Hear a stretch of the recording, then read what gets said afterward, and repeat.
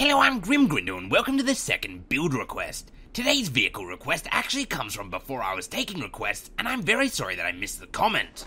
Despite Kevin commenting three months ago, I didn't actually receive a notification for the comments until he made a reply to the comment last week. Or perhaps I did receive a notification and I just missed it, but I'm going to blame YouTube anyway because it's easier. So sorry about the delay, Kevin, but I hope this video helps you anyway. So Kevin has asked, how do you build a UFO that spins? Which is actually an interesting challenge because controlling a vehicle while it's spinning is actually a little difficult. And so therefore, because I'm such a big fan of functionality, I decided that my spinning vehicle had to be maneuverable and controllable enough to actually successfully beat the Nutty Acres Challenge Air Coconut with at least a jiggy time. So let's get talking about the design.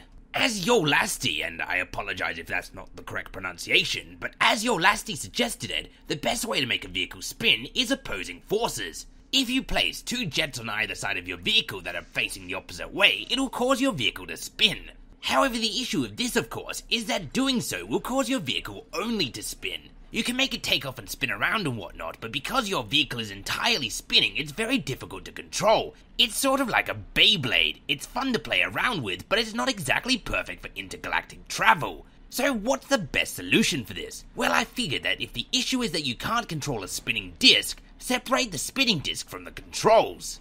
And that's exactly what I did. So my spinning UFO is actually two parts. The inner layer in which the pilot seat sits is basically just a regular plane, and the outer layer is literally just a spinning disc. However, for these two pieces to actually work in harmony, there are a few things you must make sure you do. Firstly, and I'm sure quite unsurprisingly, they must actually be connected. Because your outer layer is spinning, it should be connected to the direct center of your vehicle.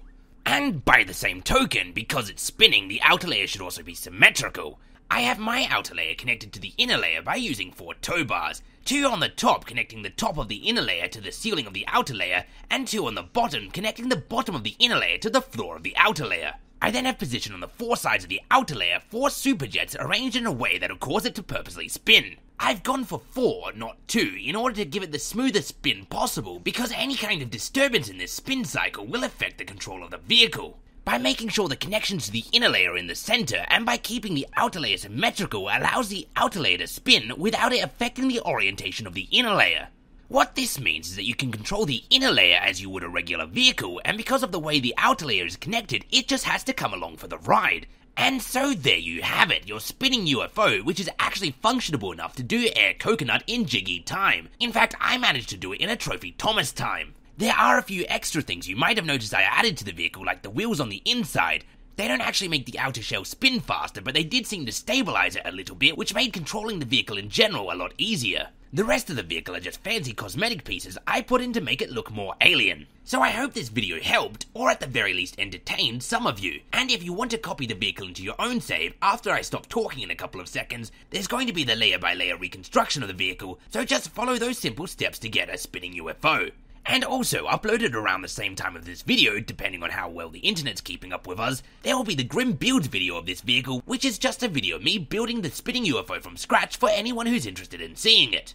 And so, as always, until next time, I have been and still am Grim Grindle, and you have been watching the Spinning UFO build request.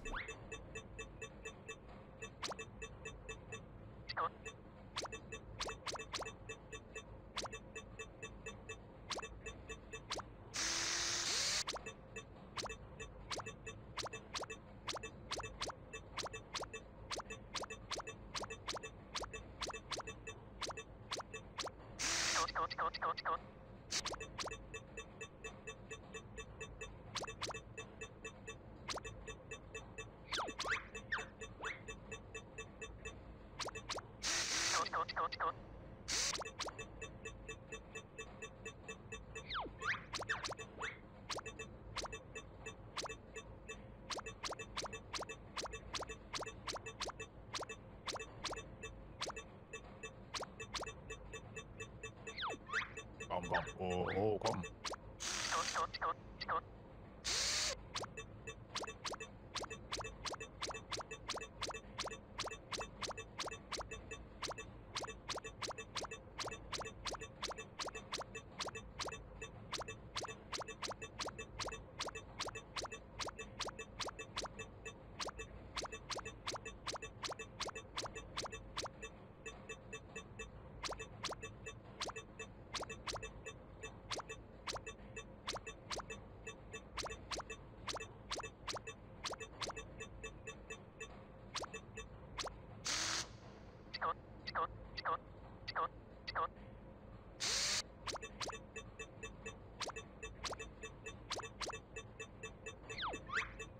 Oh, campo.